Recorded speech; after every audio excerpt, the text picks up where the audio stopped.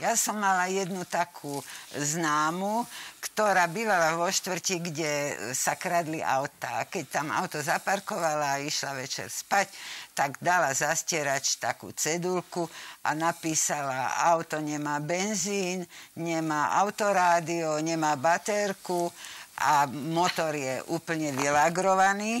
A, a práve, že tam už potom na ráno, keď prišla, tak mala na druhom stierači napísané, takže kolesáti boli na hovno. Čiže odišli aj